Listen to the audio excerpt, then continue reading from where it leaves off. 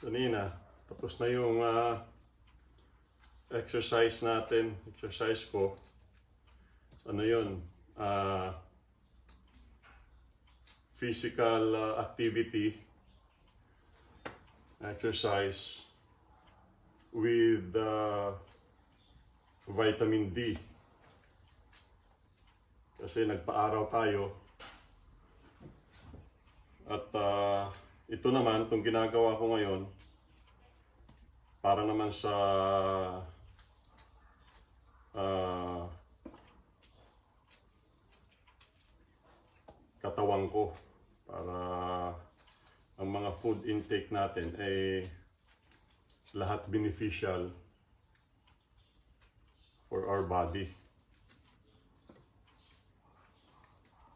While I'm doing this, mm, ito yung tinatawag ko na ah, part of my prayer. Meaning, ah, prayer, meditation, so ito na yung active meditation na tinatawag ko.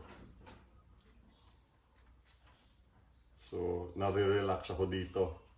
While ginagawa ko yung breakfast ko, alam ko na ako mismo yung labor of love, ako mismo yung gumawa.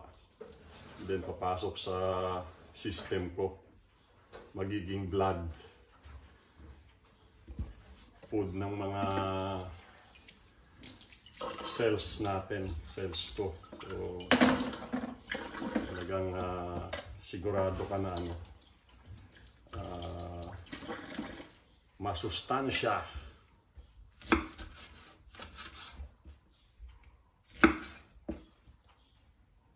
Yan. Talagang ano, ah, alagaan mo rin talaga ang sarili mo.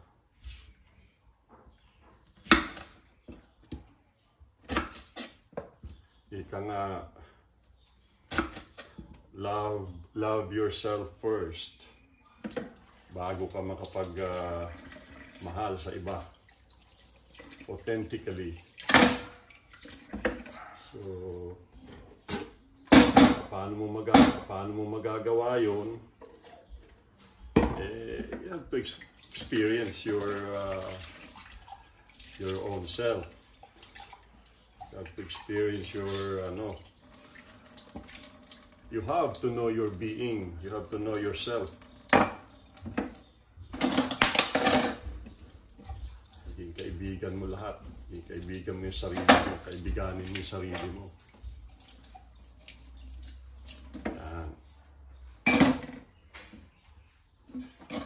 So, ano to? Ah, pineapple, papaya, and uh, saging na saba.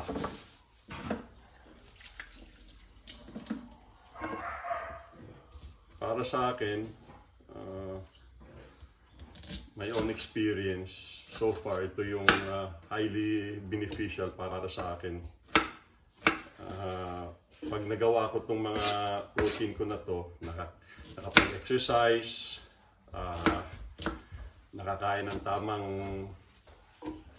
pagkain, nasa tingin ko ah, beneficial sa akin, eh, the rest will follow.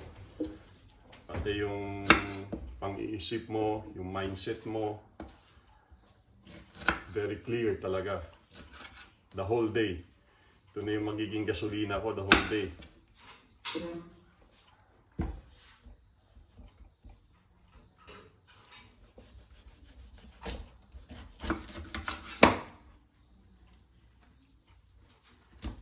Yun lang. Ah, dito kasi sa pandemic na to, talagang ano eh, matira ang matibay.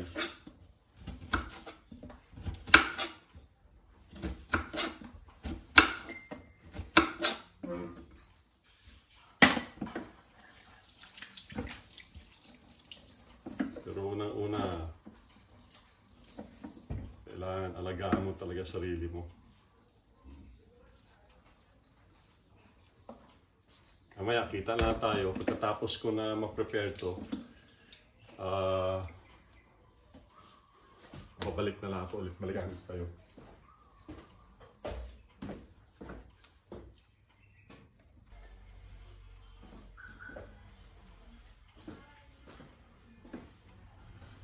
Ito na, tapos na. Tapos na yung breakfast natin. Preparation ng breakfast natin. So,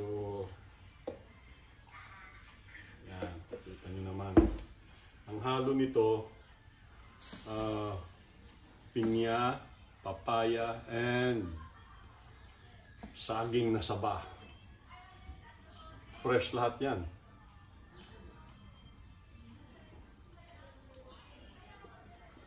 Matamis, masarap.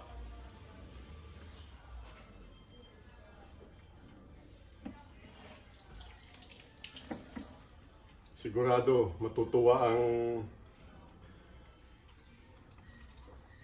katawan ko nito.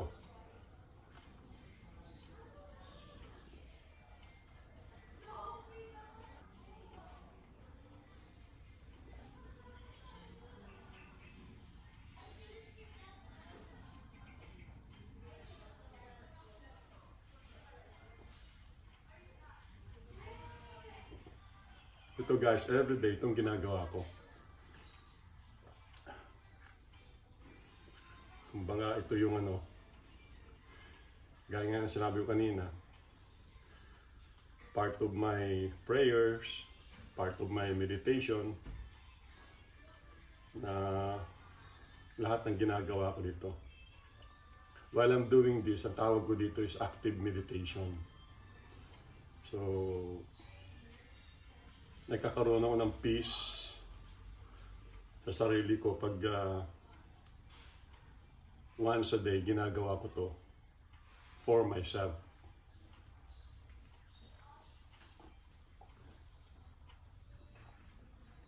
Hindi magiging kompleto pag ah, hindi ko magawa to. Kailangan pagservisyohan ko yung sarili ko. In one day, kailangan meron akong time sa sarili ko. One hour a day. Kasi minsan, pag nasa trabaho na, wala na. Nakakalimutan mo na yung sarili mo.